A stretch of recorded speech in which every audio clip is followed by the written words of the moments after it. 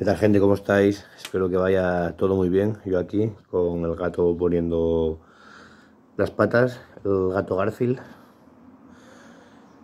Eh, quería empezar el vídeo hablando seriamente porque el otro día cuando, cuando hice el vídeo del recuerden, es en el que dimos un paseo por el campo enseñando los viñedos, al parecer eh, por haber llamado estafadores a unas personas que participaron en la estafa de los infelicianos, pues sin haber dicho los nombres siquiera, y eso que a mí me dijeron que el que lo huele debajo el culo lo tiene, pues sin haber dicho los nombres se han dado por aludidos, por algo será, y me han exigido que pida disculpas públicamente, así que gente cuando toca, toca. Quiero pedir disculpas por ser tan sexy. ¡Ay! Debería ser delito andar por la calle con este cuerpecito. ¿Qué me estás contando? ¿Qué me estás contando? A ver. O sea, recibo acoso a diario. Recibo amenazas a diario, insultos a mi familia, insultos a todo el mundo el que me rodea. Falta de respeto a mi abuelo fallecido. Bueno, fallecido, asesinado por la ETA. Y le faltas el respeto. Y me exiges que pida disculpas por llamar estafador a un estafador. Si venga, y mañana voy a la plaza del pueblo, me bajo los pantalones y empiezo a gritar, azotarme. Porque es lo que me falta ya, ¿no? Que pida disculpas, sin disculpas por ser tan sexy. Dicho esto, Quiero comentar un poquito un par de cositas de, de la Aurora, del canal de Granada a Tetuán. Se está volviendo loco el gato. Quisiera comentar un poquito, un par de cositas del canal de Granada a Tetuán. ¿no? Eh, la primera cosita es darle las gracias porque parece que aunque sea poco a poco y aunque parezca que le está costando entenderlo, pues parece que quiere convencerse de que no está bien lo de grabar mientras conduce, grabar mientras tiene el coche en marcha, va por la autovía, autopista, carretera, etcétera, como le queráis llamar. No está bien porque te puedes llevar una vida por delante, incluso la tuya misma. Pero más preocupante es la de terceros que no tienen ninguna culpa de que tú vayas haciendo esa infracción. Pero parece ser que el gato va a tirar las pinzas. ¿Vas a tirar las pinzas, gato? ¿No? En cuanto suelte las patas se cae.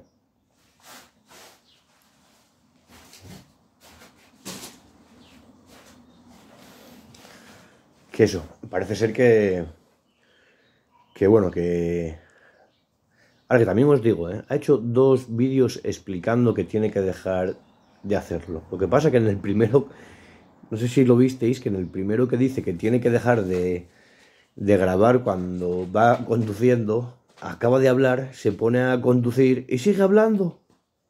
Acaba de decir que, que, no va a grabar más mientras conduce y se pone a conducir y sigue, y sigue hablando al móvil. Claro, por lo cual otra vez le volvieron a decir, pero vamos a ver, si estás hablando de que no vas a grabar mientras conduces, ¿para qué te pones a conducir otra vez grabando? Cállate, paga el móvil y luego cuando te pares sigues, sigues hablando. Parece ser que se dio cuenta, yo se lo dije, otra gente también le dijo lo mismo y bueno, al parecer pues ha salido otra vez de parado en el coche explicando otra vez que va a dejar de grabar mientras conduce. Esperemos que así sea, porque el otro día la excusa que pusiste de que todos los youtubers lo hacen no me vale. Si todos los youtubers se tiran al pozo, no creo que tú vayas mm, detrás. Más en tu caso, que nos contaste no hace mucho que tu marido había tenido un accidente en coche, etcétera, ¿no? Oye, hay que tomar conciencia con estas cosas. Nadie tiene la culpa de lo que, lo que tú vayas haciendo en el coche y algún día puedes llevarte un niño por delante, un animal o, tener un accidente con otro coche y cargártelo y es una vida con la que vas a cargar toda tu vida. Es una mochila muy pesada. Así que me alegro que por lo menos estés intentando tomar conciencia de ello. También quiero explicar una cosita del vídeo de Aurora que me pareció muy curioso. Y que aunque a ella puede parecerle una tontería o puede parecerle una estupidez, a mí no me lo parece, yo me quedo con ese detalle que me resulta importante. Está la Aurora en casa y llegan sus hijos del colegio. Y su hijo le dice, ojito, ¿eh? Le dice, mami, no voy a salir en los vídeos porque si no, Yasser creo que dice, me está viendo. No quiero que me vean. Me voy a esconder. ¿No te dice nada eso? Aurora, aunque para ti te parezca una tontería, ya sé que te cuesta entender las cosas, ya lo he visto, que hemos tenido que decirte 40.000 veces lo de no conducir mientras grabas, etcétera, porque ha habido que explicártelo 40 veces y de muchas maneras, que al final parece que lo has entendido, pero te ha costado. Te va a costar también entender el mensaje que en tu cara te ha dado tu hijo pequeño. Repito, mami, no voy a salir en los vídeos porque si no, Yasser me está viendo. Aurora, su amigo Yasser, no es el único que le, está viendo. Están viendo miles de personas, entre ellos varios pedos. y lo grave no es lo que haga su amigo Yasser. Lo grave es lo que puedan hacer con las imágenes de, de tus hijos estos pedos.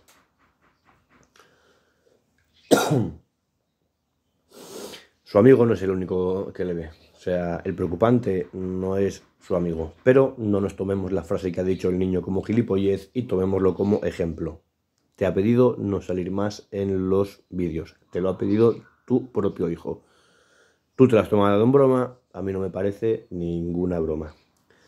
Nada más, no voy a ensayar tampoco aquí con, con Aurora porque parece ser que nos va haciendo caso. Y eso me gusta, porque me hace caso, no le estoy diciendo que me haga la comida ni ninguna gilipollez. Le estoy diciendo cosas que son normales, cosas exigibles que son normales. como no sobreexponer a los niños o como conducir mientras graba. Nos hace caso, sabe que es por su bien y el bien del resto de las personas. Me alegro. Uf, tengo una tos, he pasado una noche no he dormido nada. Barcel, hijo, estás muy rebelde que te has tomado. Que te has metido. Las trompas de farlopio.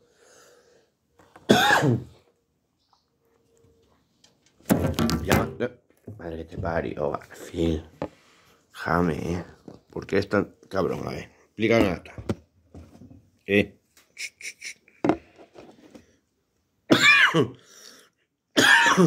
¿Por qué es tan malo? Explícanoslo. Explícale a las llaneras por qué es tan malo. A ver. Explícanoslo. Déjame poner el móvil aquí, ¿vale? Que yo no tengo un apoyamóviles de esos, ¿vale? Ya, ya sé que no se llama apoyamóviles, ¿vale? Antes de que me correjáis. Quería hablaros un poquito de los comentarios que he visto en el canal Infeliz, porque llevan una semana sin subir los vídeos y cuando se tiran unos días sin subir los vídeos, pues sé que la gente tristemente se desespera, ¿no? La gente se amarga, parece que se van a morir porque no suben los vídeos. Y quiero comentar un poquito algunos comentarios que he visto ahí. He visto un comentario que dice, ya no vemos lo que pasa.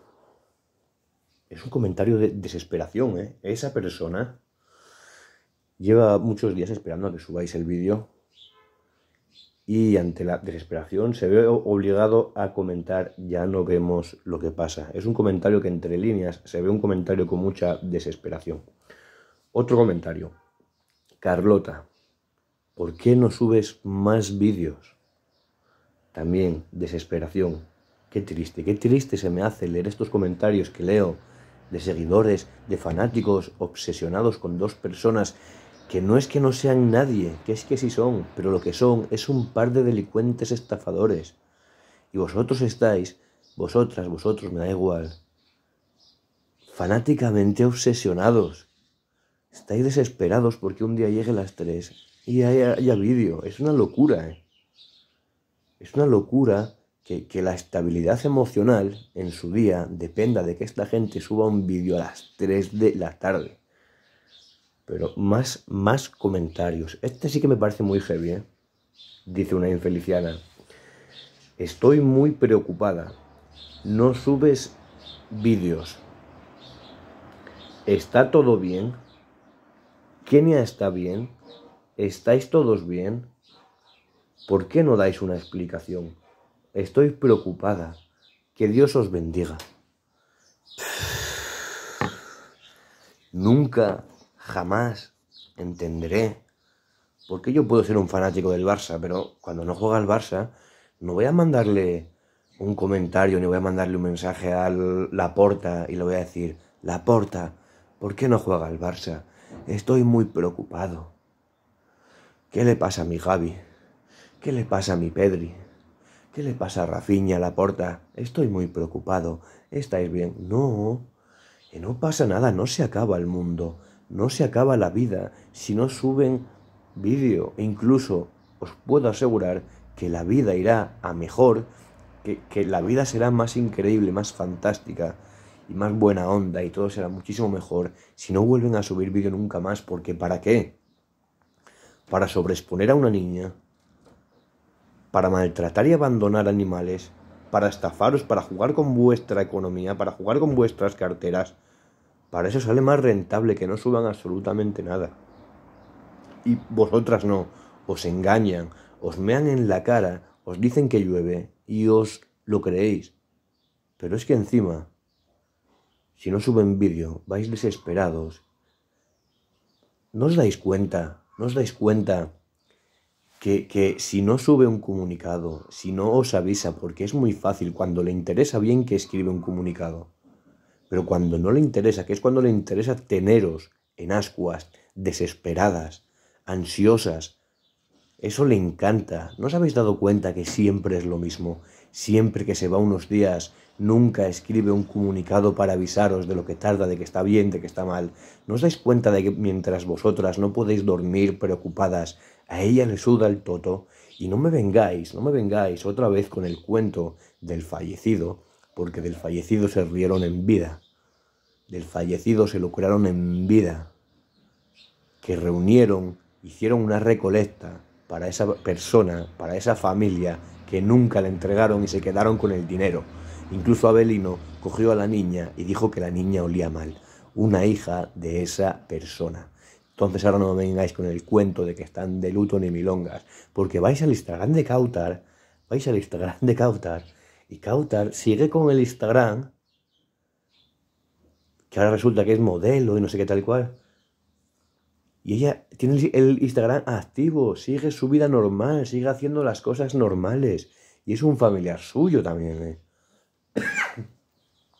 Entonces no me vengáis con ese cuento algo estarán tramando, algo estarán preparando, pero lo que tenéis que tener muy claro es que no le, no, le importáis absolutamente nada. Si le importaseis, os respondía. Le habéis mandado mensajes de ánimos, mensajes de apoyo, le habéis dado el pésame en 20.000 personas, le habéis dicho de todo, preguntáis por ellos, desesperados, y ellos no responden, no pierden ni un solo segundo de su vida en que vosotros no estéis preocupados porque no sé si lo, no lo habéis pillado todavía o es que os gusta tragar mierda, que no les importáis absolutamente nada, que lo único que le importa de vosotros son vuestras carteras, es vuestro dinerito, lo único que les importa son vuestras visitas, son vuestras suscripciones, es sacar dinero a vuestra costa, con la pena y con todo eso que suelen hacer siempre, con sus artimañas, con sus estafas, con sus engaños, con sus mentiras. Eso es lo único, infelicianas, que les importa de vosotras.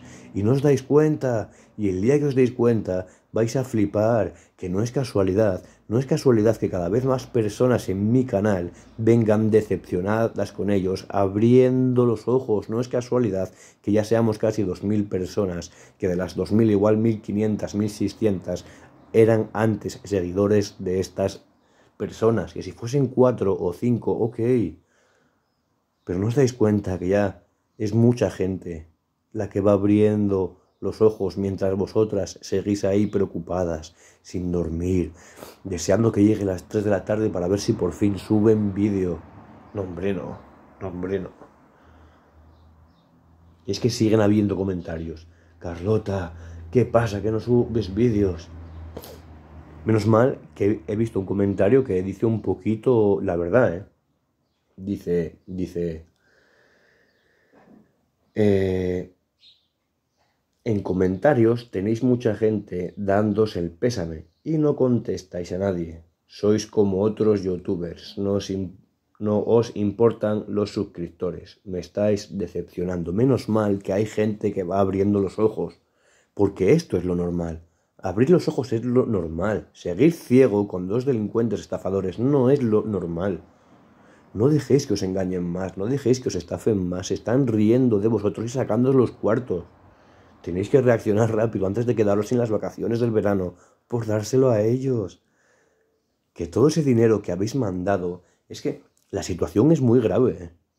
Habéis querido ayudar a un, a un familiar que hoy está fallecido y le habéis querido ayudar mandando dinero para esta familia dinero que nunca llegó a esta familia, porque los infelices dijeron que iban a grabar, que iban a hacer un vídeo cuando le entregasen el dinero que vosotros habéis mandado, y nunca hubo ese vídeo. ¿Qué más queréis? ¿Qué más pruebas queréis para abrir los ojos? ¿En serio? Vamos a ver, os lo vuelvo a explicar, porque sé que algunas sois de cabeza muy dura, ¿eh? Escuchadme.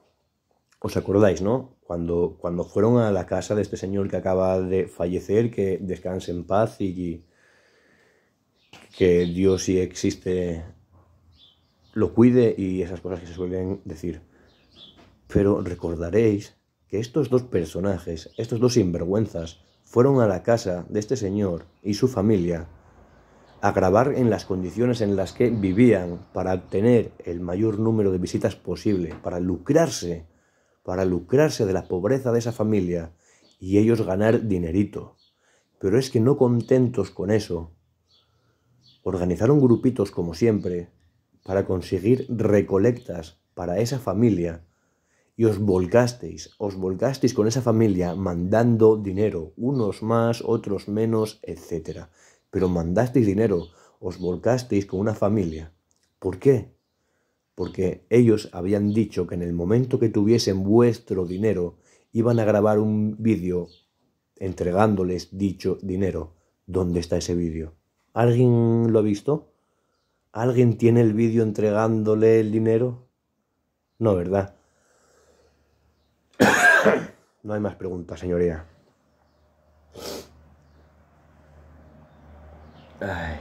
Bueno. Hay muchos comentarios de por qué no subís vídeos muy desesperados, muy desesperados. Gente, hay vida ahí fuera. Hay unos canales en YouTube flipantes, ¿eh? hay canales buenísimos de aventura, que os gusta lo que hacen de, de la huerta, de sembrar, del campo, de la finca y todo eso. Joder, tenéis ahí el canal de la finca La Malle, tenéis el canal de Nazaret, la huertina de Tony, Tenéis al patica ahí comiendo la mayonesa como si fuese agua. Tenéis muchos canales muy divertidos que no van a jugar nunca con vuestra cartera. Muchos canales. ¿Os dais cuenta que no, no responden? Que a ellos no les cuesta nada subir un comunicado por muy mal que estén. Por muy mal que estén, que yo no me lo creo porque ya les conozco. Pero aunque fuese verdad, vamos a poner, oye, vamos a permitirles que tengan derecho a estar mal. Pero me vas a decir que no tienen un segundito, un gramito de fuerza para escribir un comunicado y deciros, estamos bien, esta semana no hay vídeo, eh, volvemos el lunes. O todavía no volvemos, estamos bien, no os preocupéis.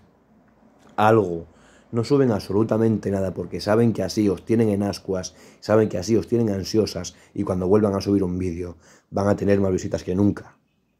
Porque vais a ir todos a saco. Y ellos lo saben y se aprovechan de ello. Mira qué gato más guapo. No digas que no es precioso el gato. El Garfield. ¿Dónde está Coco? ¿Dónde está Coco, Garfield? Más arriba no está Coco. Bueno. Por cierto, eh, aparte de, de cuando se lucraron con todo esto, a mí me queda una duda. A ver si me la sabéis responder en este vídeo. Me gustaría que me echaseis una mano en decirme el niño de esa familia, de la familia del fallecido, el niño de esa familia que había ido a Chawen a que esta gente le ayudase para empezar en el colegio, a que la familia del Belino ayudase a ese niño a empezar en el colegio, que lo vimos, que salieron en un vídeo con él, no se supo nunca más nada. ¿Dónde está ese niño? ¿Alguien sabe qué fue de él? ¿Alguien sabe si sigue en Chagüen estudiando o tuvo que volverse? ¿Alguien sabe algo? Porque mucho el niño viene a Chagüen a estudiar. No supimos nunca nada más de él. Son cosas extrañas, son cosas raras, no se hacen pensar estas cosas. ¿No veis que no es nada normal? ¿Dónde está ese niño? Gente, se avecina drama, ¿eh? Se avecina drama. Hoy ha empezado el ramadán.